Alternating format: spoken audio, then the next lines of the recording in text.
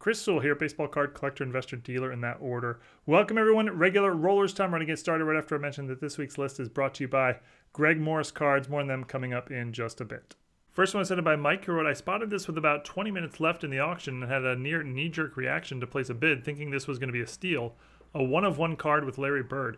Anyway, I stopped and did a quick search and apparently the one of one means that the set is numbered to one and it's not a print run number in any way. Pretty confusing for a collector and possibly for the seller since they're advertising it in the title as a one of one card. Yeah, that's interesting. 2001 Fleer exclusives, Team Fleer of Vince Carter and Larry Bird, and uh, you can see there on the back the card is, is is numbered one of one. You know, in 2001, you know, one of ones weren't really a thing yet in the hobby, so uh, some sets would still do this. They'd number their cards one of one or you know three of eight or whatever. So here it is, one of one. That's not a serial numbered anyway. There's many copies of this card available in existence. But yeah, that's uh, that's confusing. And, and the seller here, I mean, they put one on one in the title. That's technically true. I, you know, I would I would say it's obviously misleading, and I would recommend that they do something to clarify that. But yeah.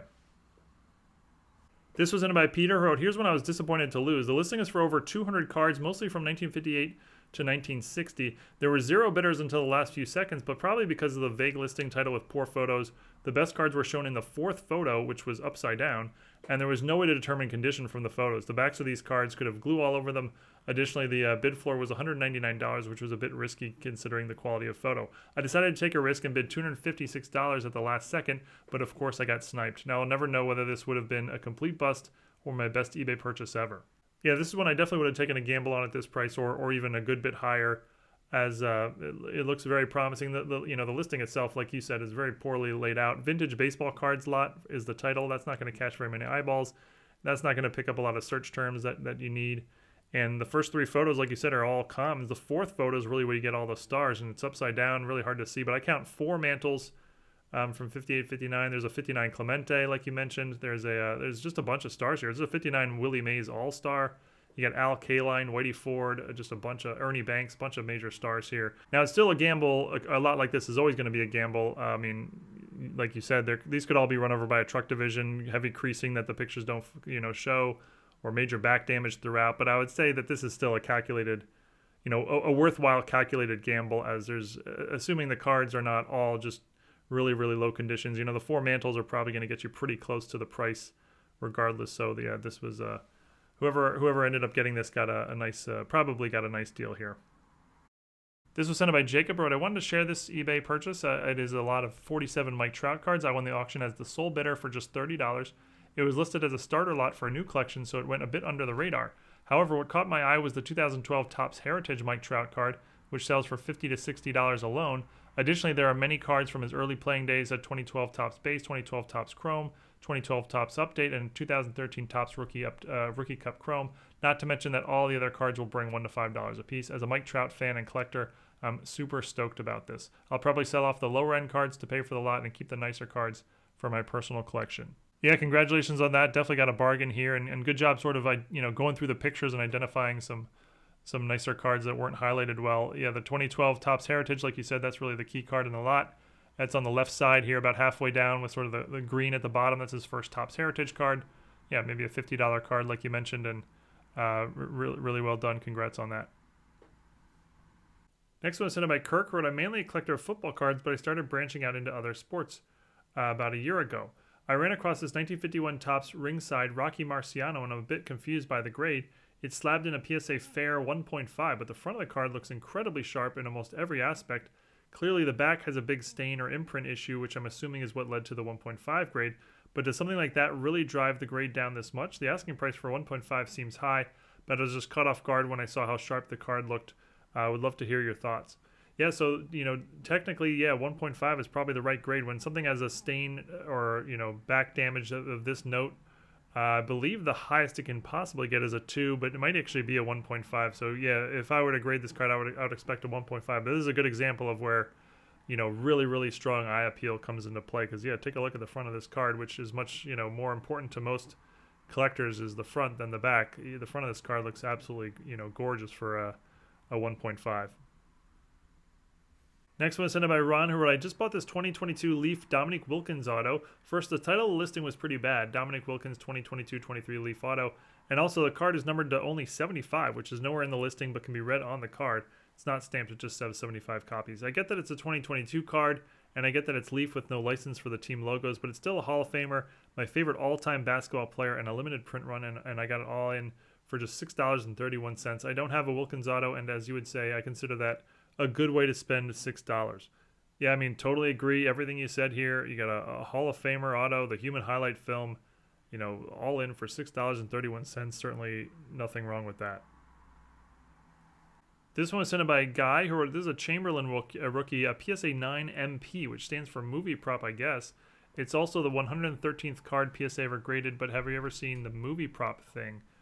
Uh, I don't know what to make of this. This uh, well, this is not a legit PSA holder. Uh, the the holder is a, a, fake of some kind, and the card itself is definitely a fake. Front doesn't quite look right, but on the back, especially, the, the colors are just completely off.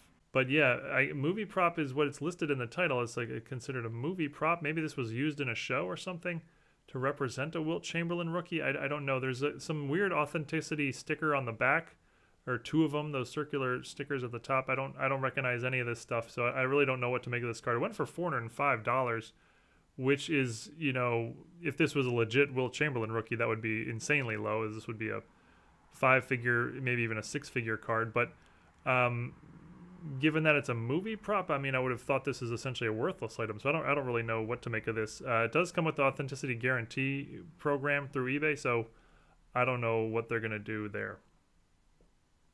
Next up is a 1972 Topps in action Roger Staubach, Captain Comeback, graded A PSA Near Mint 7. And this is a really nice alternative rookie. Staubach's rookie is in the 1972 Topps set, but he's also in the set a couple other times uh, with this in action and a couple, a couple league leaders maybe. This card went for just $25, which is basically market value. And Staubach's standard rookie in a 7 would cost you, you know, many hundreds of dollars. So really nice alternative here. Rookie year card and nice grade for a, a fraction of the price.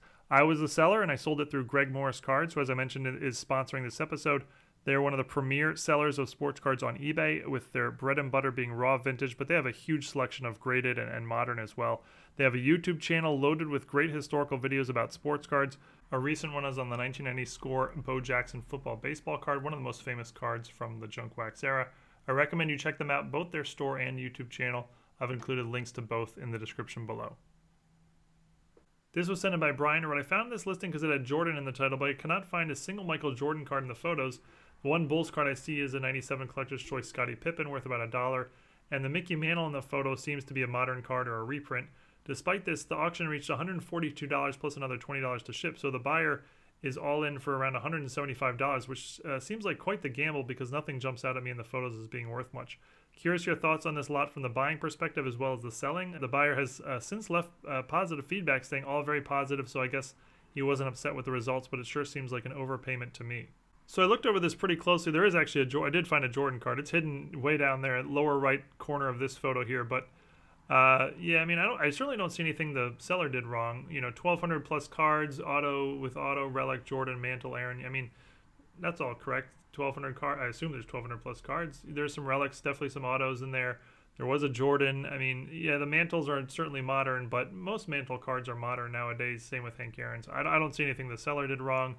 And the buyer here at this price, I mean, you know, yeah, there's there's no real big money cards for sure. It looks like most of the stuff is quarter cards, dime cards, nickel cards, 50 cents up to a dollar maybe, maybe a couple, you know, $2 type cards, but so you're not going to be breaking the bank, but if you're buying this as a collector, I think that's a lot of bang for your buck. That's a lot of fun to play with that many notable cards. It's got some vintage. You got a mix of everything. And if you're buying it for breakup value, I don't I don't know that you're going to do very well. You might be able to might be able to squeeze out a small profit, but regardless, yeah, I don't really see anything wrong in either direction here.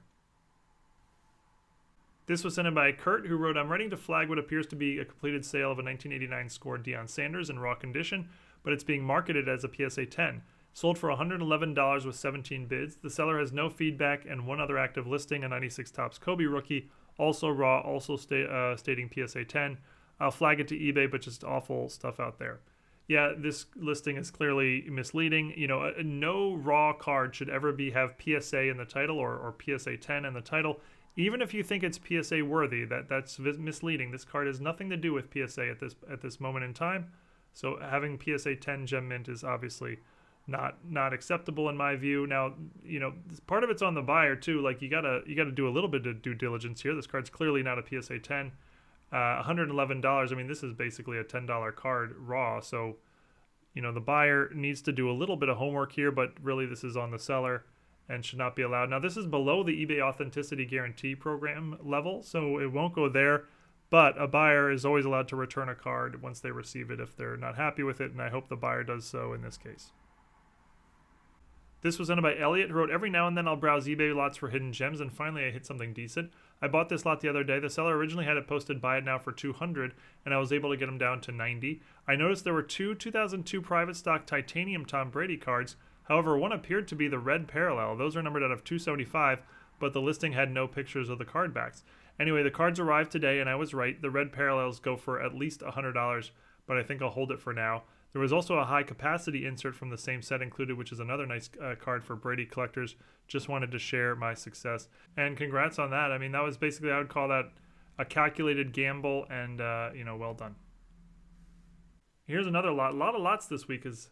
Uh, they, they, can be fun. This was ended by Joseph, who wrote, Check out this score. I got multiple Hall of Fame worthy rookies here and a sick museum collection Jadeveon Clowney rookie four piece patch just one of those uh, situations where a seller did a bad job listing the items and overshot his shipping costs, which can deter buyers. I've always been a, a Clowney fan since the fateful day he made that amazing play in college at South Carolina, and if you Google his name to this day, 10 years later, it's the first thing that pops up. Besides the Clowney, there was a Topps Chrome Aaron Donald rookie, a Mike Evans rookie from Topps Supreme uh, out of 149, a Bowman Chrome Darrelle Revis rookie, a Big Ben out of 99 from Inception, plus more. Yeah, congratulations once again in order. Looks like you're about $10 all in here. The Aaron Donald is probably a $10 card alone, uh, as is the Clowney, as would be the Russell Wilson Topps rookie. Uh, obviously did very well here.